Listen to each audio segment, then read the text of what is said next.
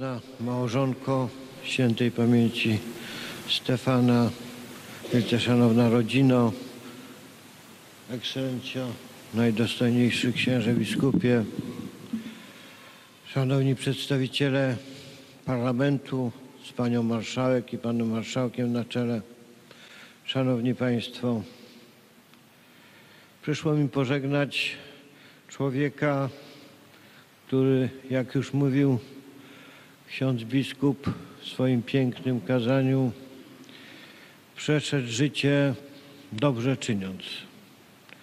Przeszedł życie to prywatne, to rodzinne i przeszedł życie angażując się w sprawy publiczne, w sprawy publiczne tej ziemi, trudnej ziemi i sprawy publiczne naszej ojczyzny Polski.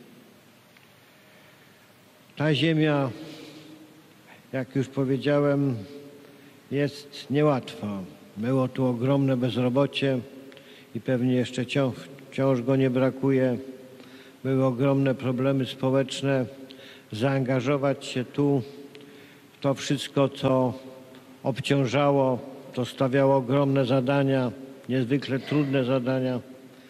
To był akt odwagi, determinacji, jednocześnie akt, który wskazywał na najlepsze cechy, najlepsze cechy człowieka, który chciał tą odpowiedzialność, tą niełatwą odpowiedzialność na siebie wziąć.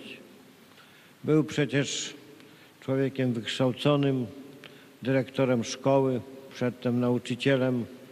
Mógł iść inną drogą, też przecież wzbudzającą szacunek i bardzo społecznie ważną, ale podjął się zadań trudniejszych, zadań związanych z życiem publicznym, zadań związanych z tym wszystkim, co miało tej ziemi służyć.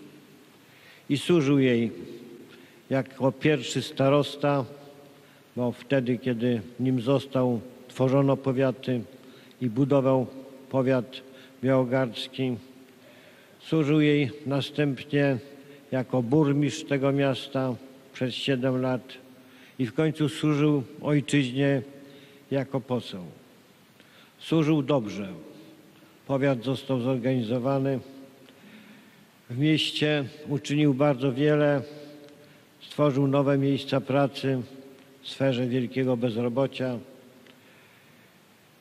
Te miejsca pracy istnieją po dziś dzień, ale przede wszystkim był człowiekiem, który dbał o to kiedyś bardzo zaniedbane miasto i doprowadził do bardzo wielu pozytywnych zmian.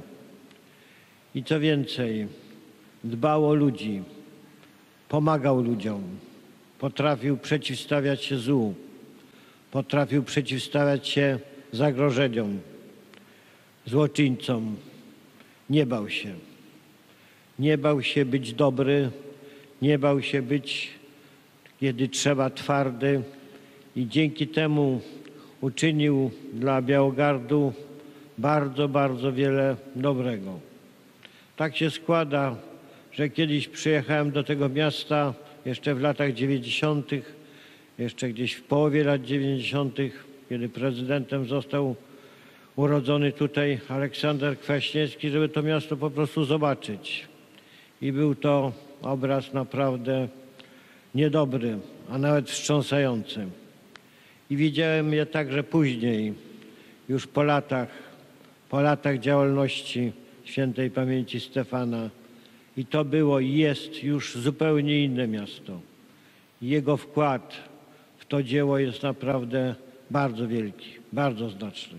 I choćby tylko poprzez to zapisał się w dziejach tej ziemi złotymi zgłoskami. Ale wielkie znaczenie miała także jego praca w parlamencie. Był tam kimś, do którego zwracano się o pomoc, o radę w sprawach samorządu właśnie, bo przez 11 lat pełniąc wysokie funkcje samorządowe stał się jego znawcą, stał się człowiekiem powszechnie uważanym w Najwyższej Izbie za kogoś, kto właśnie w tych sprawach może doradzić, może pomóc, który wie, jak to się robi. A każdy, kto zna życie publiczne, zdaje sobie sprawę z tego, że władza i ta na najwyższym szczeblu, i ta samorządowa, to problemy, problemy jeszcze raz problemy. To ogromne, trudne zadanie. I z tej roli wywiązywał się także znakomicie. Powtarzam, bardzo dobrze służył także ojczyźnie jako całości.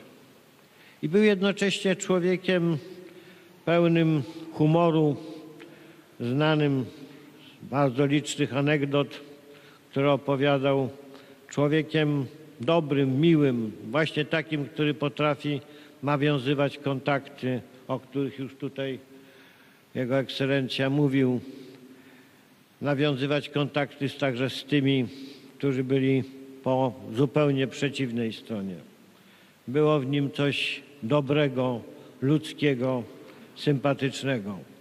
Należał do pewnej grupy, grupy działaczy politycznych, działaczy Prawa i Sprawiedliwości z tego regionu, z ziemi zachodniopomorskiej. Grupy, która wybija się w naszej partii z wartością, brakiem konfliktów, solidarnością w tym najlepszym tego słowa znaczeniu i głębokim zaangażowaniem sprawy zarówno tej ziemi, tak ważnej dla naszej ojczyzny, jak i dla Polski.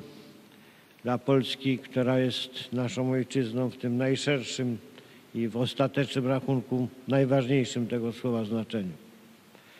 I tu był czynny, był lubiany, był jedną z podpór tego szczególnego, wyjątkowo pozytywnego środowiska. Żegnamy go z bólem, z wielkim bólem, przeświadczeniem, że jego przedwczesna, bardzo przedwczesna śmierć była ciosem nie tylko dla najbliższych, nie tylko dla rodziny, nie tylko dla tych, którzy go znali, kochali czy lubili, ale także dla tego miasta, dla tej ziemi i dla naszej społeczności, dla tych wszystkich, którzy chcą, by Polska zmieniała się ku lepszemu. Był człowiekiem dobrej zmiany, tej dobrej zmianie służył. I gdyby nie ta przedwczesna śmierć, z całą pewnością służyłby dalej. Chciałem złożyć jeszcze raz najserdeczniejsze kondolencje rodzinie i chciałem powiedzieć, że wszyscy ponieśliśmy wielką stratę. Szedł przez życie dobrze czyniąc. Niech odpoczywa w pokoju.